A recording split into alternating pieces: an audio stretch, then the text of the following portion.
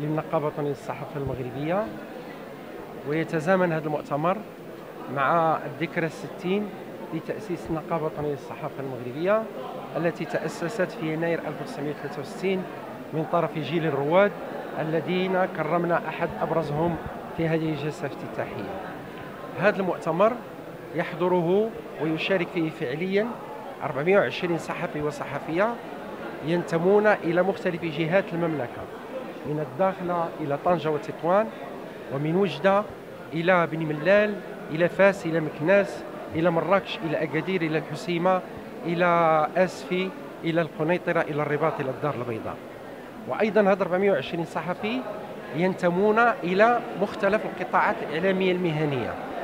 عن الشركة الوطنية للإذاعة والتلفزيون عن القناة الثانية عن وكالة المغرب العربي للأنباء عن الصحافة المكتوبة عن الصحافة الإلكترونية عن الفريلانس عن الصحفيين الشرفيين الصحفيين العاملين في شركة الإنتاج الصحفيين العاملين في الإذاعات الخاصة. إذا هذا محفل مهني أساسي ومهم يتشكل من المهنيين الحقيقيين الممارسين فعليا لمهنة الصحافة. هذا المؤتمر ينعقد تحت شعار مركزي ومهم وتحصين المهنة وحماية المهنيين.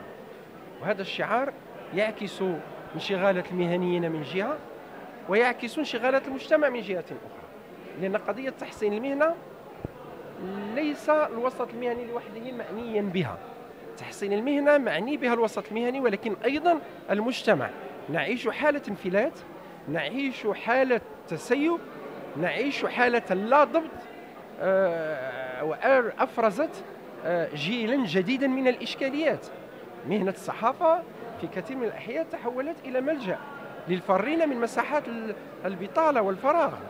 تحولت المهنة لمن لا مهنة له وبالتالي لا بد من تحصين المهنة.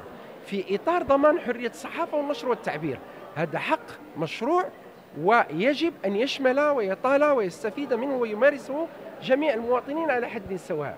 ولكننا نميز بين حق المواطن في أن يعبر عن رأيه وعن مواقفه وأن يشكل قناعاته بالطرق التي يرتعيها مناسبة وبين مهنة الصحافة التي لا يمكن أن يمارسها إلا شخص مهني متمكن من أدوات إنتاج المحتوى الإعلامي. لذلك نتحدث عن تحسين المهنة. وحماية الصحفيين إحدى أهم الإشكاليات أيضا. صحفيون يتعرضون إلى المضايقات يتعرضون إلى الاعتداءات. لا توجد هناك ضمانة قانونية تحمي الصحفي. فلذلك نطالب دوما بأن يقع في التنصيص على القانون كما هو الشأن بالنسبة للموظف أثناء الاعتداء عليه أثناء ممارسة مهامه. وبالتالي لا يمكن لأنه الصحفي يكون بصدد أداء مهامه الوظيفية.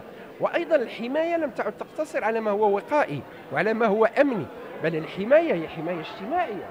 وبالتالي لا بد من توفير الظروف الاجتماعية والأوضاع المهنية المريحة التي تجعل الصحفي والصحفية في موقع مرتاح في موقع محميح يشعر فيه بالحماية.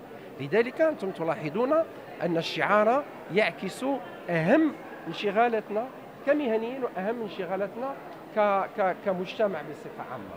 آه، أيضا المؤتمر سيتدرس مشاريع وثائق مهمة. تم التحضير لها في إطار اللجنة التحضيرية التي اشتغلت طيلة شهور. آه، طيلة الشهور الماضية. وهذه الوثائق تهم إشكاليات كبيرة جدا.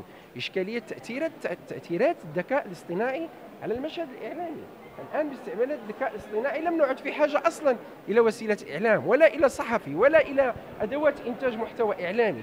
آه، الذكاء الاصطناعي هو ينتج المحتوى الذي يطلب منه بالشهر الذي يراد. بالتالي هذا يشكل بقدر ما هو يفسح آفاقا جديدة أمام حرية الصحافة والنشر والتعبير وأيضا لكنه أيضا يطرح إشكاليات حقيقية على مستوى مستقبل المهنة مستقبل المشهد وعلى مستوى تأطير الإعلام وتأثيرات الإعلام على المستوى القانوني.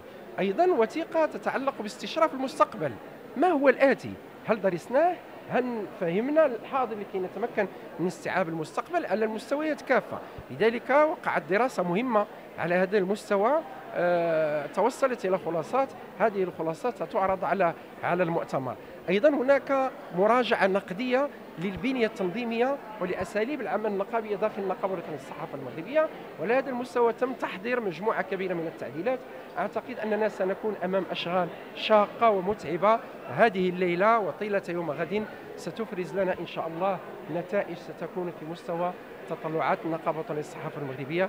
وفي مستوى انتظارات الشعب المغربي من هذا الإطار التاريخي الذي تأسس منذ 60 سنة ولا زال شامخا كما أسسه الجيل الأول من الرواد.